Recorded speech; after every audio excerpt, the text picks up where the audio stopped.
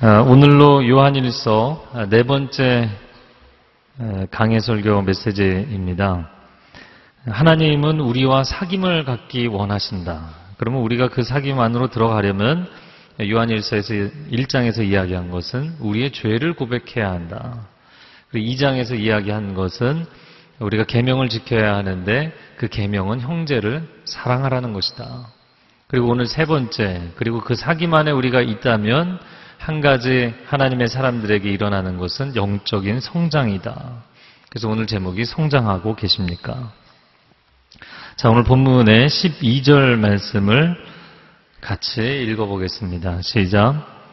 자녀들이여, 내가 여러분에게 쓰는 것은 여러분의 죄가 그리스도의 이름으로 용서됐기 때문입니다. 아, 사도 요한이 성도들을 영적인 자녀로 자녀들이여 이렇게 부릅니다. 그리고 그들을 향해서 선언한 내용이 여러분의 죄가 그리스도의 이름으로 용서되었습니다. 죄사함의 선언을 합니다.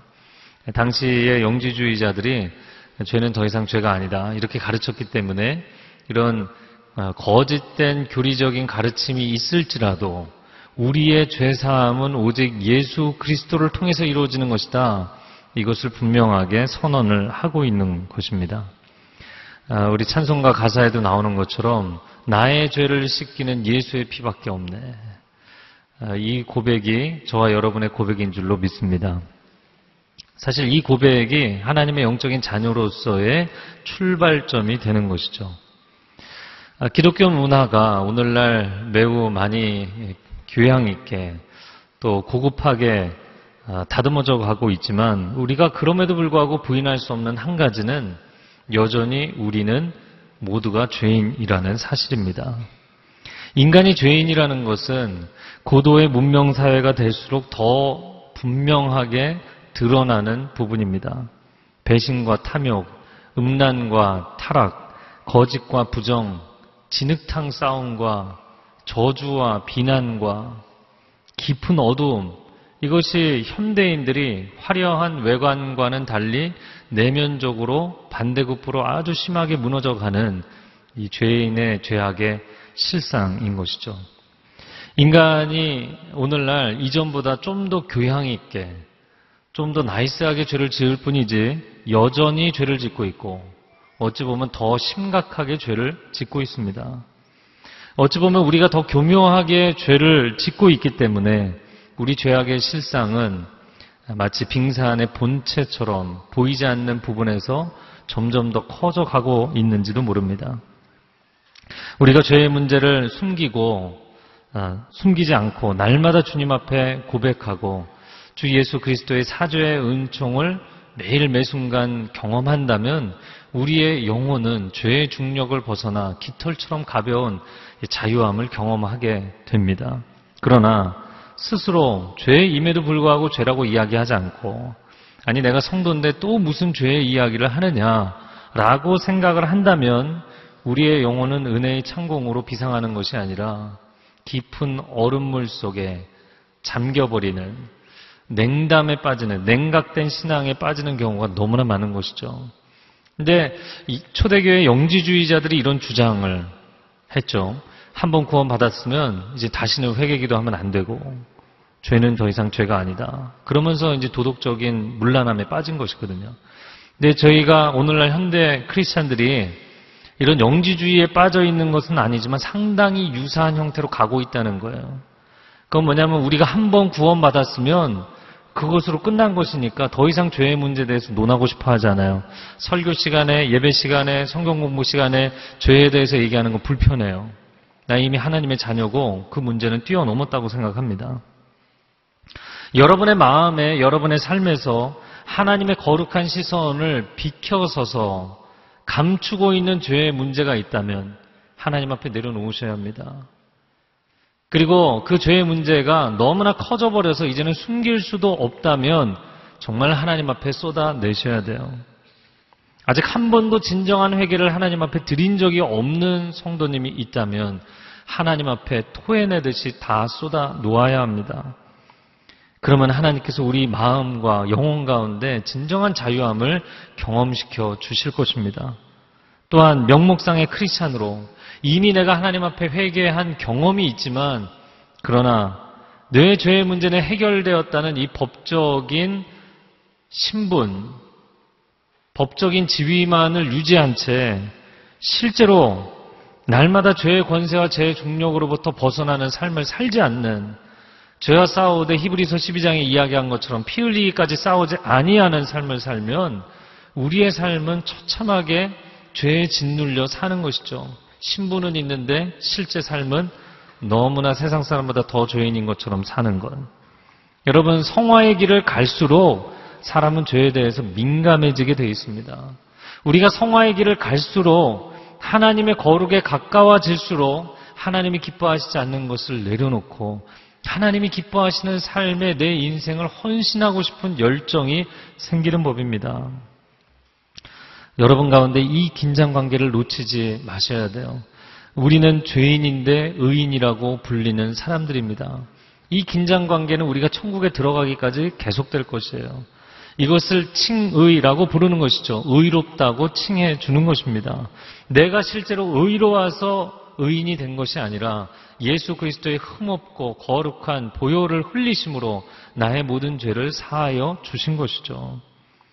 네, 그렇기 때문에 매일같이 우리의 삶은 매일 매순간 그리스도의 그 죄사함을 반복적이고도 지속적으로 경험할 필요가 있습니다. 물론 예수 그리스도의 죄사함은 유일회적인 사건으로 우리의 과거와 현재, 미래 모든 죄를 용서하신 거예요. 우리는 하나님의 자녀의 신분을 얻었고 자녀가 되었기 때문에 언제 이 땅을 떠나도 천국 갈 수 있어요. 할렐루야. 그러나 제가 캐나다 살면서도 느꼈던 거지만 시민권을 얻는다고 갑자기 영어가 술술 나오지 않아요. 스테이터스를 얻는다는 거, 신분을 얻는다고 해서 신분에 걸맞는 삶을 사느냐, 그거는 매일매일의 노력이 필요한 거예요. 하나님의 자녀라는 신분을 얻었지만 그 신분에 걸맞는 거룩한 삶을 사는 것은 죄와 싸우는 씨름이 필요한 것입니다.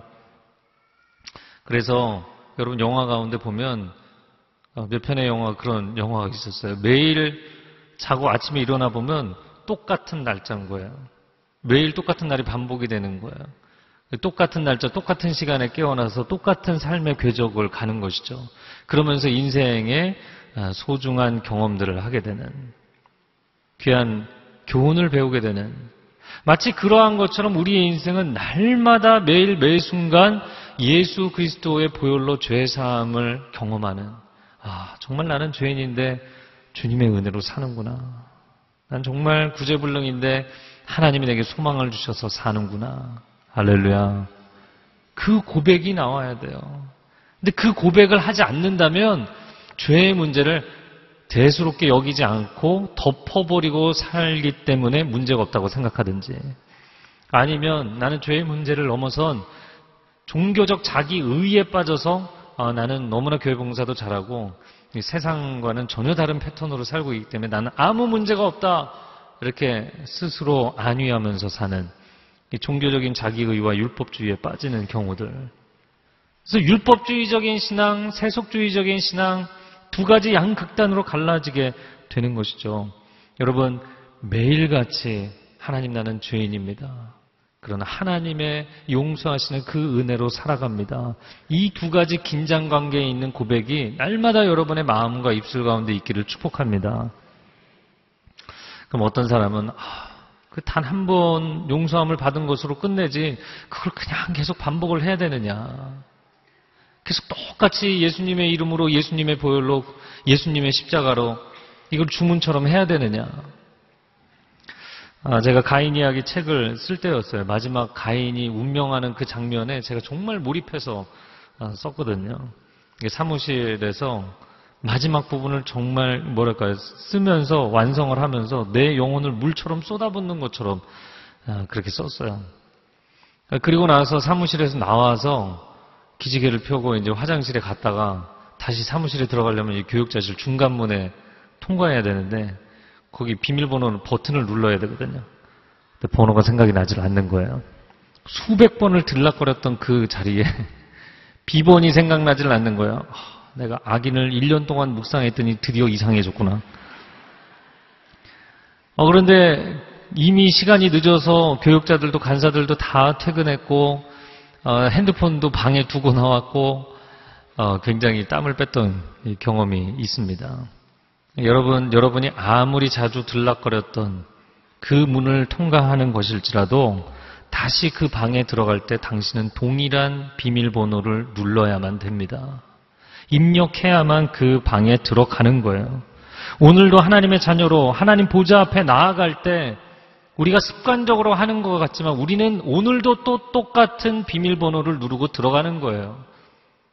우리는 오늘도 하나님 앞에 기도할 때, 하나님 보좌 앞에 나아갈 때 똑같은 비밀번호를 하나님 앞에 제시해야만 그 방에 들어갈 수가 있어요. 그러지 않고서는 그 방에 들어가는 것이 불가능할 뿐만 아니라 우리의 기도도 하나님 앞에 상달되지 않고 하나님의 응답도 올 수가 없어요. 그러면 이 비번이 무엇인가? 바로 예수 그리스도이십니다. 아버지께로 가는 유일한 길, 우리가 구원받을 수 있는 유일한 이름, 예수 그리스도의 이름인 줄로 믿습니다. 아, 내가 그걸 언제 통과했는데 그걸 또 눌러야 됩니까? 아니요. 그 방에 들어갈 때는 또 그 비번을 누르고 들어가는 것이에요.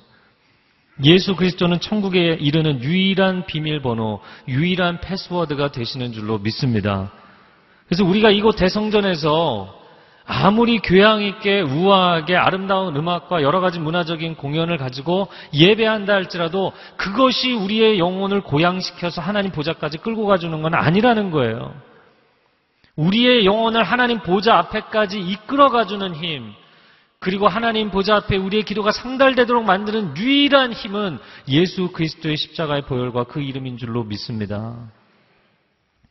우리에게 이 신앙의 고백이 가장 근간이 되는 신앙의 고백인 것이죠.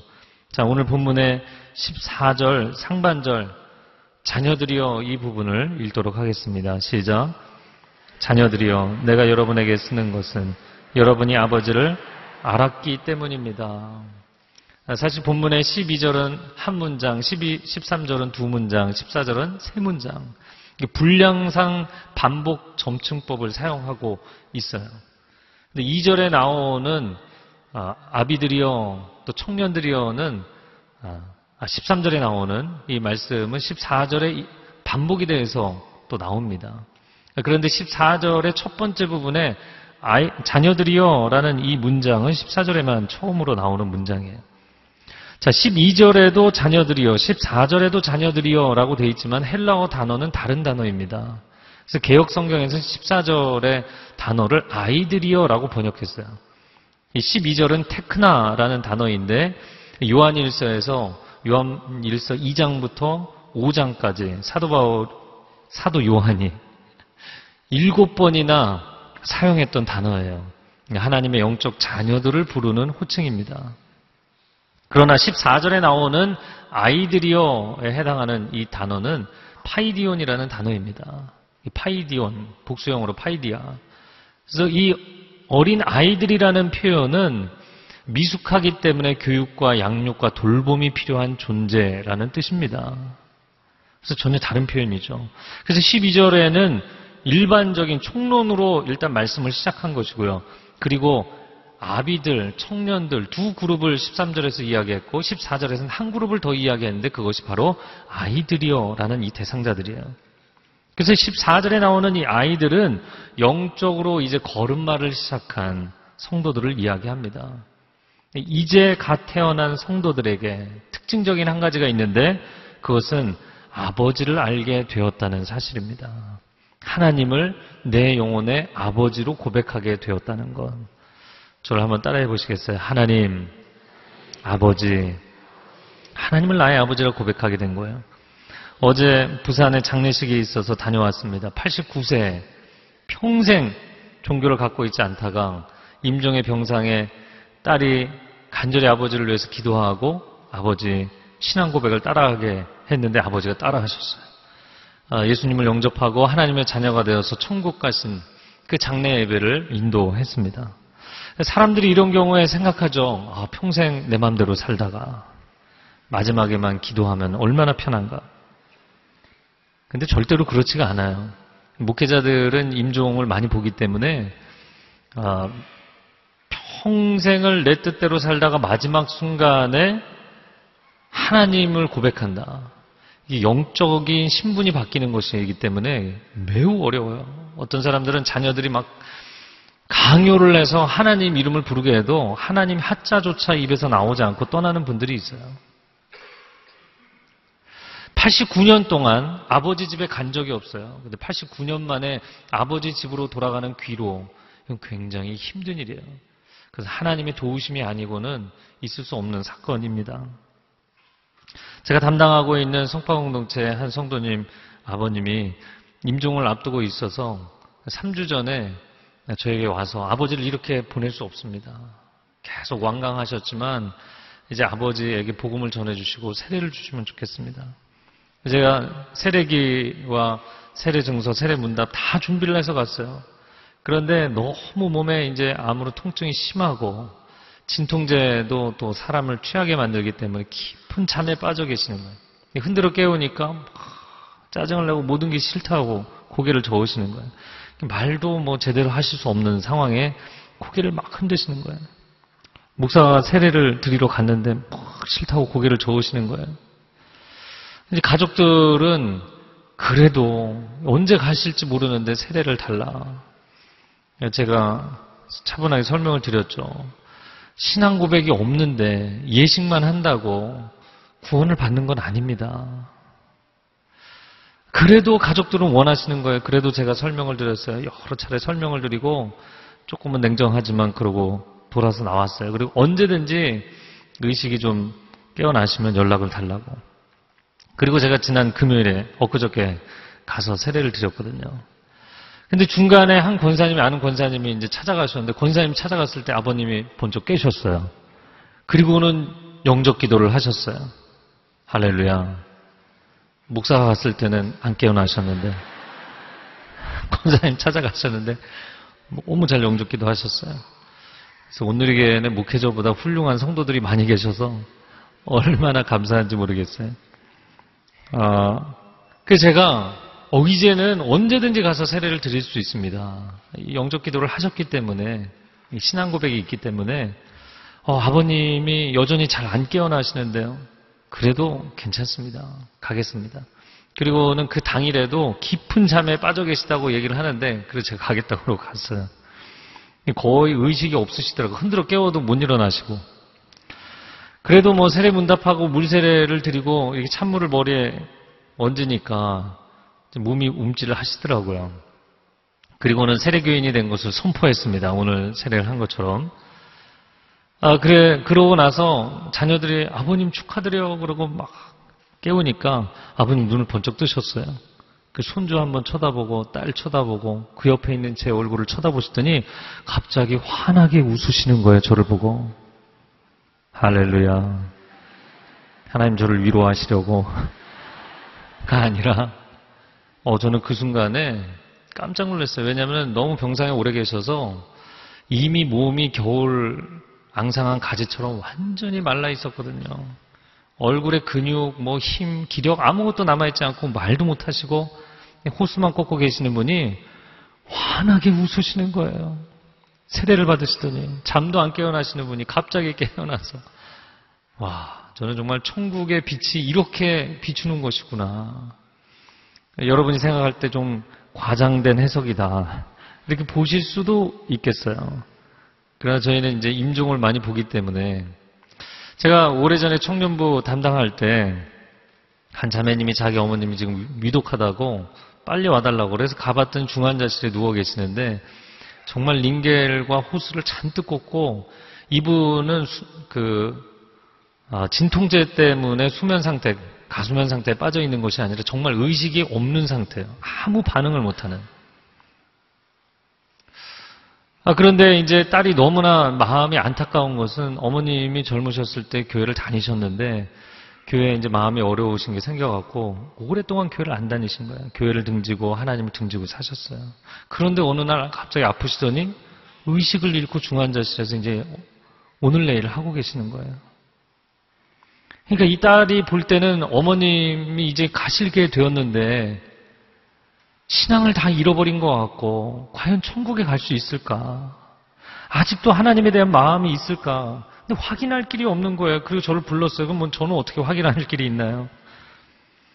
아, 그런데 이 사람이 마지막까지 신체 기능이 떨어져도 이 청력이 남아 있다고 얘기하잖아요. 제가 귀에다 대고 찬양을 불러드렸어요. 깜짝 놀란 게요. 얼굴이, 얼굴 전체가 붉어지면서 뜨거운 눈물을 두 눈에서 흘리시는 거예요. 대답도 못하고, 표정도 눈도 깜빡거리지 못하는 그분이 찬양을 듣더니 얼굴이 벌게지면서 두 눈에서 뜨거운 눈물을 흘리더라고요. 아, 아직 하나님을 사랑하시는구나. 아주 오래전 예배를 드렸지만 아직도 하나님을 향해서 찬양하던 그 기억이 남아 계시구나. 여러분 목회자들은 이럴 때 정말 보람이 있습니다. 감격이 있고 아, 사람들이 이 땅을 떠날 때 천국 문 앞에 설 수 있도록 돕는 일을 한다는 것이 얼마나 기쁜 일인지요. 하나님을 아버지라고 고백하는 것, 이것이 저와 여러분에게 큰 축복인 줄로 믿습니다. 오랜 시간 우리 자신이 영적인 기억상실증에 빠져 있다가 하나님을 비로소 아버지라고 고백할 수 있게 되는 이 날, 아, 이 날이, 이 세례의 날이 얼마나 축복의 날인지요. 우리는 한 분 하나님을 아버지라고 고백하기 때문에 형제 자매가 된 줄로 믿습니다. 불신자들 중에는 하나님을 내 눈에 보여주면 내가 믿겠다 그러지만 사실 보여줘도 못 믿어요. 왜냐하면 그분이 그분이신 걸 모르기 때문에 한 번도 본 적이 없잖아요. 모르는 것입니다. 그래서 우리는 사실 사람들은 불신의 상태는 영적인 기억 상실증에 빠져 있는 상태하고 똑같습니다. 제가 지난주 수요일에 수요 저녁 예배를 드리고 어, 그리고 방에 가봤더니 갑자기 제 핸드폰이 목통이 되어 있는 거예요. 그래서 저장해 놓지 않은 백업해 놓지 않은 데이터가 스케줄이 다 날라갔어요. 그 저와 약속을 잡으신 분이 있으면 꼭 이야기를 해주세요. 특별히 주례 약속이 있으신 분들. 제 기억으로는 연말까지 두 번 토요일 빼고는 다 있는데 스케줄이 다 날아갔어요. 그런데 결혼식 당일에 전화해서 목사님 지금 어디 계세요? 그럼 이미 늦은 거예요. 그러니까 미리 얘기를 해주시기 바랍니다. 여러분, 우리 영혼의 메모리도 마찬가지입니다. 하나님 아버지에 대한 데이터를 다 잃어버렸어요. 그분이 누구이신지조차 기억할 수 없는 상태에 빠져버린 것입니다. 그러면 과연 우리는 어떻게 하나님을 아버지라고 인식하게 되었는가? 예수님이 요한복음 14장에 빌립과 나눈 대화에서 나옵니다. 요한복음 14장 8절과 9절 한번 같이 읽어주시기 바랍니다. 시작. 그리하면 족하겠나이다. 예수께서 이르시되 빌리바 내가 이렇게 오래 너희와 함께 있으되 내가 나를 알지 못하느냐 나를 본 자는 아버지를 보았거늘 어찌하여 아버지를 보이라 하느냐 그래서 예수 그리스도를 통해서 하나님을 아버지라고 고백하게 된 줄로 믿습니다. 아, 예수님이 나를 향한 하나님의 하나님 아버지의 사랑을 보여주셨기 때문에 또한 예수 그리스도를 통하여서 우리의 죄 사함을 받은 줄로 믿습니다. 그래서 예수 그리스도의 이름은 소망의 이름이고 구원의 이름이고 생명의 이름입니다. 자, 본문에 13절에 보면 13절 상반절에 아버지들이여 내가 여러분에게 쓰는 것은 여러분이 태초부터 계시는 분을 알기 때문입니다. 여기 태초부터 계시는 분은 태초부터 계신 생명의 말씀 예수 그리스도를 의미하는 것입니다. 선제 계시는 영원하신 그리스도를 당신들이 알기 때문이다. 아, 여기서 아비들이라고 표현을 한 것은 사실 교회 안에서 연세가 많은 분들을 이야기한 것이 아니라 영적인 성숙을 이룬 성도들을 이야기하는 것이고요. 청년들이라고 부른 대상은 영적으로 성숙해가는 과정에 있는 사람들을 부른 것입니다. 그러면 그 영적인 성숙을 이룬 아비들에게 선언한 메시지가 무엇이냐는 것이죠. 그것이 놀랍게도 예수 그리스도를 아는 것. 여러분, 내 죄를 사하신 예수님은 신앙의 입문 때 만나고 받아들이고 잊어버리는 분이 아니라는 거예요. 너무나 많은 사람들이 오해하는데 아까 첫 번째 부분에서 이야기를 한 것처럼 죄 사함을 위해서 예수님이 십자가를 지셨고 그것을 받아들이면 이제 하나님의 자녀됨의 신분이 있으니까 더 이상 십자가 앞에 나갈 필요 없고 더 이상 예수 그리스도에 대해서 깊이 있게 알 필요가 없다고 생각을 해요. 아니요. 우리의 신앙은 마르지 않는 은혜의 샘에서 끊임없이 은혜의 샘물을 퍼올리는 예수 그리스도께서 우리를 향해서 주시는 은혜가 얼마나 놀라운 것인지를 날마다 경험하는 것이 신앙의 본질인 줄로 믿습니다. 그분을 날마다 더 깊이 인격적으로 만나가고 그리고 날마다 그분의 사죄의 은총을 체험하고 날마다 예수 그리스도를 닮아가는 것 이것이 신앙의 시작과 과정과 결론인 것이죠. 자, 14절 하반절에 이제 세 번째 그룹인 청년들을 향해서 주시는 메시지입니다. 한번 같이 읽겠습니다. 시작. 하나님의 말씀이 여러분 안에 거하시며 여러분이 그 악한 자를 이겼기 때문입니다. 아, 이 14절 하반절에 청년들을 향해서 세 가지로 선언을 하는데 첫 번째 선언은 여러분이 강하다. 여러분은 강하다. 두 번째는 하나님의 말씀이 여러분 안에 거하신다. 세 번째는 여러분이 그 악한 자를 이겼다. 저는 이 세 가지를 묵상하면서 하나님 순서가 거꾸로 된 것 같습니다. 악한 자에게 승리를 거두었을 때, 어, 당신은 강자다. 이렇게 인정을 해주는 거잖아요. 근데 오늘 본문은 뭐라고 우리에게 말씀하고 있냐면, 당신이 승자이기 때문에 강자가 아니라 강자이기 때문에 승리자가 되는 것이다. 라고 이야기를 하고 있어요. 아, 사람이 자기 인식이 얼마나 중요한지 세상의 각 영역과 분야에서도 이 멘탈 트레이닝, 이미지 트레이닝을 아주 중요하게 생각하죠. 스포츠 분야에서도 마찬가지인데 아, 나비처럼 날아서 벌처럼 쏜다 아, 그런 아, 표현을 들었던 전설적인 복서가 있었죠. 누군지 기억하시죠? 네, 무하마드 알리라는 선수입니다. 그의 멘탈 코치가 있었는데 그 사람은 알리가 아침에 일어나면 늘 해주는 이야기가 있었어요. 그건 뭐냐면 당신은 챔피언이다. You are the champion. 아무도 당신을 이길 수 없다. 당신은 세계 최고의 복서다. 중요한 모임이 있을 때마다 만날 때마다 아침마다 그 이야기를 해주었다는 것이죠. 물론 우리가 세상적인 방법으로 어떤 이미지 트레이닝을 하고 내면적인 세뇌를 한다는 것을 이야기하는 것이 아닙니다. 성경은 우리에게 진리를 선언하는 줄로 믿습니다.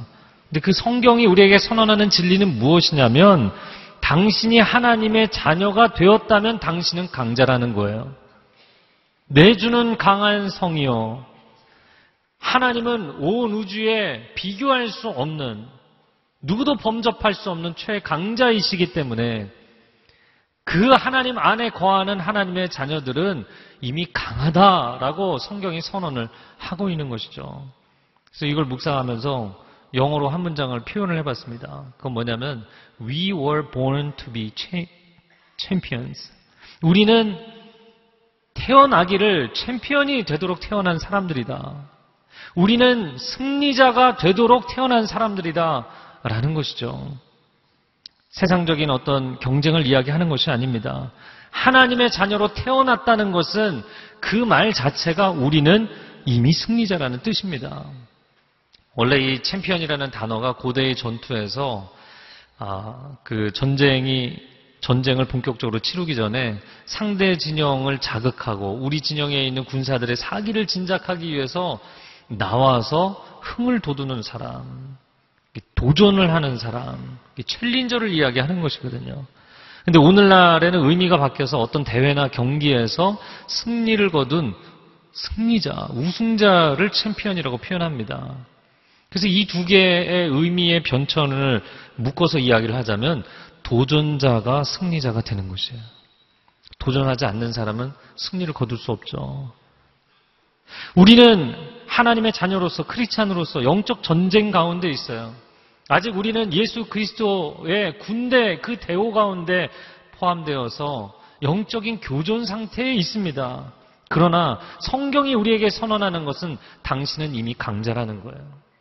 당신은 이미 영적 세계에 있어서 강한 자라는 것입니다. 세상적인 능력이나 아니면 육체적인 완력을 가지고 있어서도 아니고 심력이 강해서 기질상 잘 상처받지 않는 내면이 강한 사람이어서가 아닙니다. 당신이 하나님 안에 거하는 순간 우리의 내면은 그 어떤 사람들의 마음보다 부드러울 뿐만 아니라 강인하여서 결코 원수의 공격에 무너지지 않고 깨어지지 않고 부서지지 않는다는 거예요. 할렐루야. 에베소서 6장 10절과 11절에 이렇게 말씀합니다. 한번 같이 읽어보겠습니다.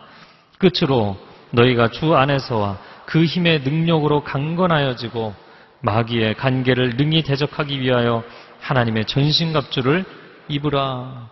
하나님의 전신갑주를 입으라 이전에 10절 말씀에 너희가 주 안에서 강건하여지고 주 안에 있기 때문에 강건하다는 것이죠. 우리는 스스로 약하지만 그러나 우리가 주 안에 있을 때 강해지는 것입니다.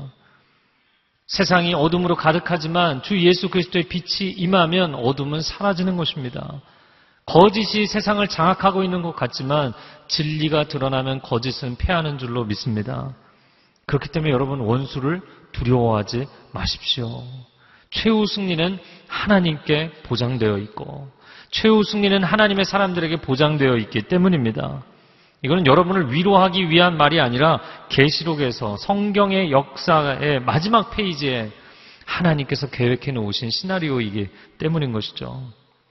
자, 그래서 승리를 했기 때문에 강자가 아니라 강자이기 때문에 승리하는 것이다.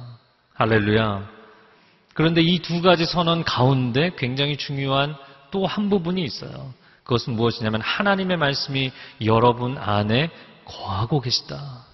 저를 한번 따라해보세요. 하나님의 말씀이 내 안에 거하고 있습니다. 네. 하나님의 말씀과 그러면 영적 전쟁, 영적 승리는 어떤 상관관계를 가지고 있는가라는 것이죠. 그 하나님의 전신갑주, 영적 전쟁에 대해서 이야기하는 에베소서 6장에 그 전신갑주의 마지막 아이템을 이야기하는 17절 하반절을 같이 읽어보겠습니다. 시작. 성령의 검, 곧 하나님의 말씀을 가지라. 성령께서 영적 전쟁을 치르시는데 무슨 특별한 신비한 능력이나 은사 이런 걸 쓰시는 게 아니라는 거예요. 뭐 소리를 질러서 고함을 쳐서 이런 것도 아니에요. 성령께서 사용하시는 검이 있는데 그것이 무엇이라고요? 하나님의 말씀, 진리의 말씀이라는 거예요. 왜냐하면 이 영적 전쟁의 기본적인 패러다임은 진리와 비진리의 싸움이기 때문이에요. 온 세상을 보십시오. 사람들이 죄악 가운데 빠지는 것은 죄의 유혹에 무너지는 것은 거짓에 무너지는 것이에요. 거짓이 세상을 사로잡고 있습니다. 그 가운데 하나님의 진리가 선언이 되면 거짓은 떠나가게 되는 것이죠. 법정에 아무리 많은 거짓 증인들이 있을지라도 현장을 목격한 진실을 알고 있는 진정한 증언자가 나와서 진리를 이야기하면 모든 거짓 증언자들의 말은 무효가 되는 것이에요. 사단은 거짓의 아비이고 하나님은 진리의 아버지이신 줄로 믿습니다. 그래서 이 영적 전쟁에 있어서, 있어서 진리의 말씀을 선포하면 원수의 진영을 부서뜨리는 핵폭탄과 같은 역할을 하는 것이죠. 여러분, 하나님의 말씀이 여러분의 영혼에 뿌리를 내리도록 만드세요. 오늘 이 말씀에 말씀이 이렇게 스쳐 지나간다는 표현이 아닙니다. 말씀을 들었는데 잊어버린다는 뜻이 아니에요. 말씀이 여러분 안에 상주하도록 하라는 뜻이에요. 다시 한번 저를 따라해 보세요. 하나님의 말씀이 나의 내면에 항상 거하도록 네, 여러분 항상 거하도록 하셔야 되는 것입니다.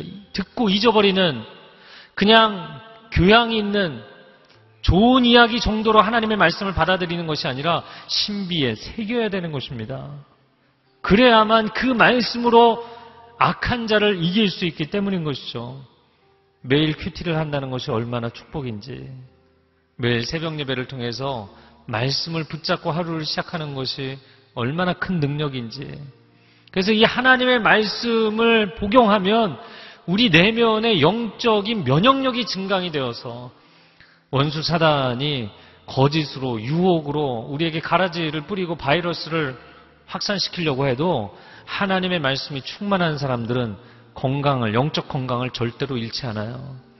말씀으로 우리의 내면이 이미 확보가 되어 있기 때문인 것이죠. 여러분 말씀으로 충만한 인생이 되기를 바랍니다. 그리고 말씀에 열심을 내세요. 열심을. 아, 일주일에 한 번이면 되지. 여러분 그렇게 생각하지 마시고요. 말씀에 열심을 내세요.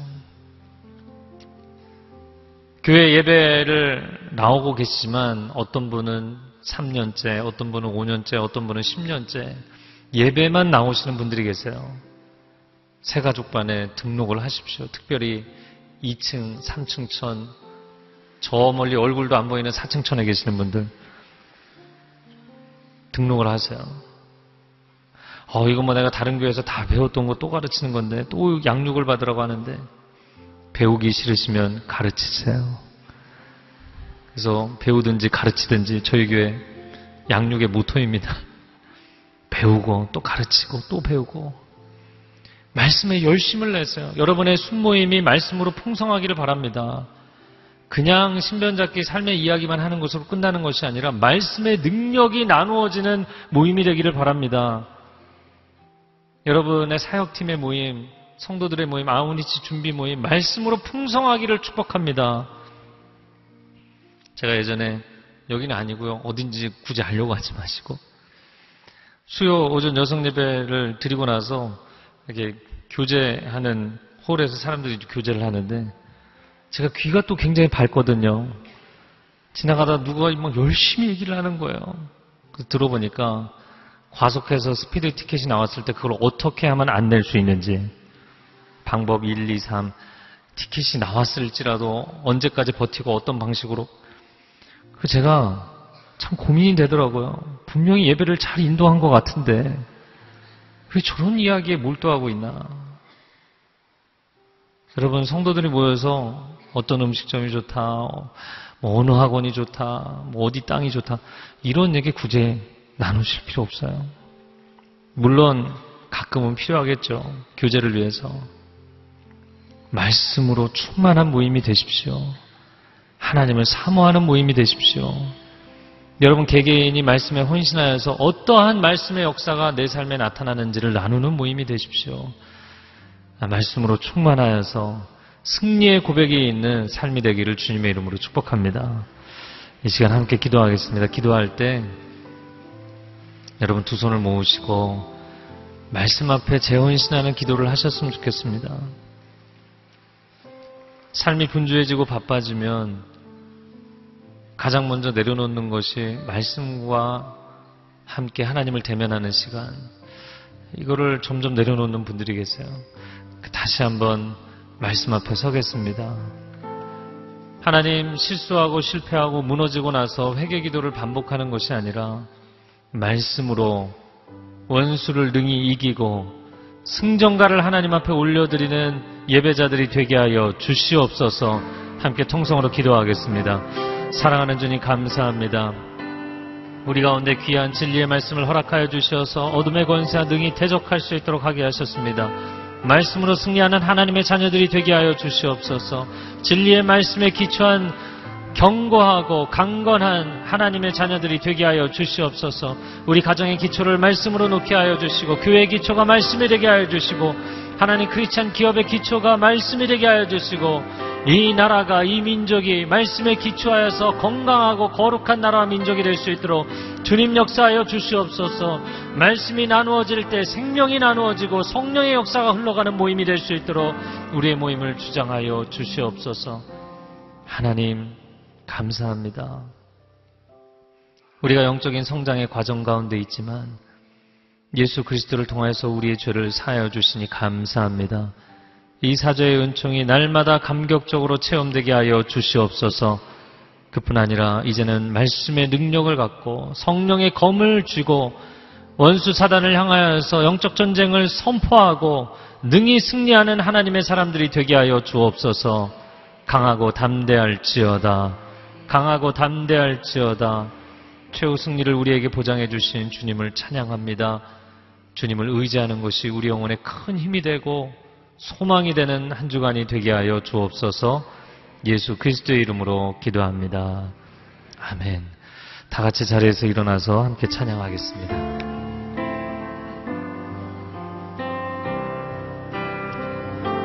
주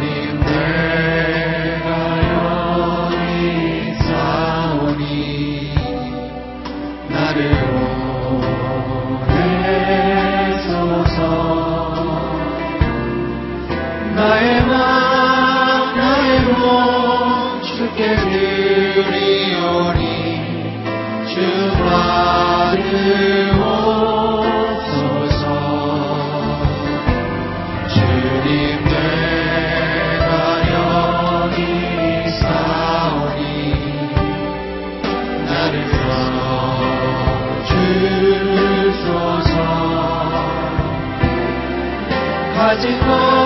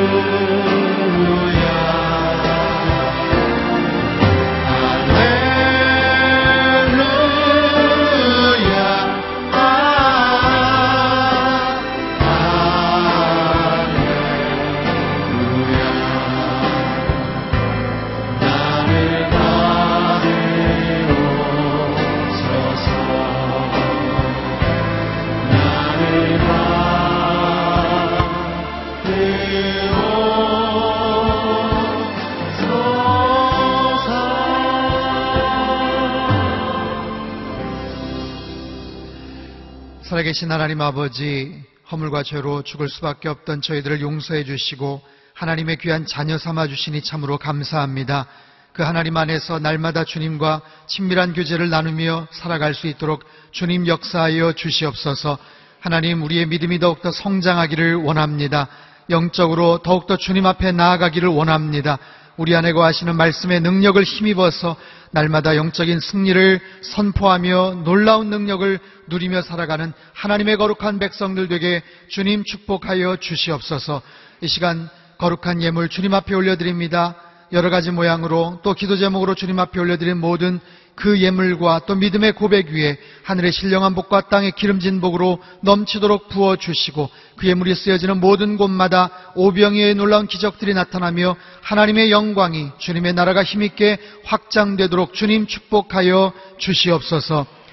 이제는 우리 주 예수 그리스도의 크신 은혜와 하나님 아버지의 극진하신 사랑하심과 성령님의 감동 감화 교제 교통 충만케 하심의 역사가 날마다 말씀 안에서 영적인 성장을 누리며 주님 안에서 승리하며 살아가기를 간절히 소망하는 이 자리에 모인 모든 사랑하는 주의 백성들 머리머리 위에와 지금도 전 세계 곳곳에서 목숨 걸고 귀한 복음 증거하시는 모든 선교사님들 그들의 가정과 사역 위에와 우리 조국 대한민국과 저 북녘 땅과 온 열방 위에 이제로부터 영원토록 함께 하시기를 간절히 축원하옵나이다. 아멘.